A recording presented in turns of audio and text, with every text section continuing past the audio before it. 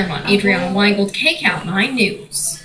We have breaking news right now from Mount Washington. The LAPD on the scene of an apparent beating death. KCAL 9 Stu Mundel is live in Sky 9 to tell us more. Stu.